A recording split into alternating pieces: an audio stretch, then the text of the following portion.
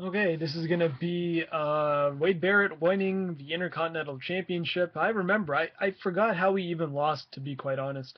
I remember last year being at WrestleMania 29, the pre-show, The Miz beating Wade Barrett as as the rain started to come down at MetLife Stadium, and I think the next night, I don't know what happened. Maybe they realized that they made a mistake, but it was Wade Barrett versus The Miz and Wade Barrett pinned The Miz in what had to be one of the, the, the standout matches, I guess, because the crowd was just so into it from, from beginning to end.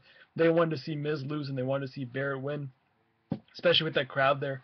I think Izod only probably held uh, just under 20,000, and you probably had like 98% of those people just going crazy for Barrett. And uh, all those international fans from England, they, they go crazy no matter what. It was a great moment, and, and to be quite honest, I don't remember who he lost it to after that, and then how I just remember Big E. Uh, who did Big E Langston even beat? I don't even remember who Big E beat, to be quite honest.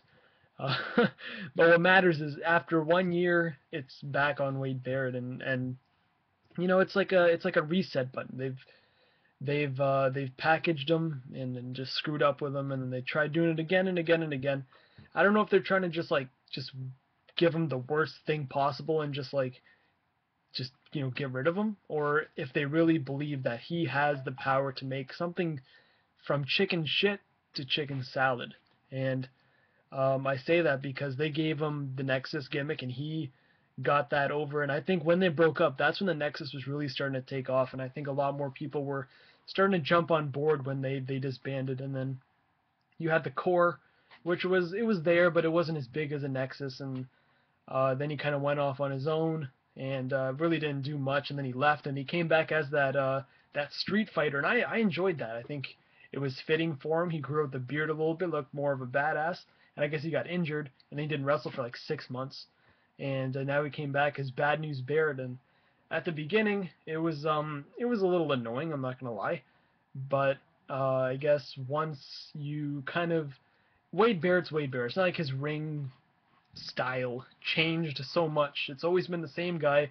He's always been able to put on semi-decent matches, and I think uh, with the right guy, uh, i.e. Sheamus, he can put on great matches. And he, you know, the voice I think is what really makes him stand out, and that's why he does so much promo thing. So now obviously you're going to see him a lot more on the mic. Now he has the belt. Now he at least has some sort of meaning on Raw. But uh, you got to wonder what happens to Big E Langston. I remember he was like that golden boy, like where Cesaro is right now that's where Big E was. But you see how far he's fallen off the ladder, and I wouldn't be surprised if you don't see him for uh, not really doing much. Not he's doing much now, but now it's going to be even less than before. But that's all. I'll uh, see you guys in the next video.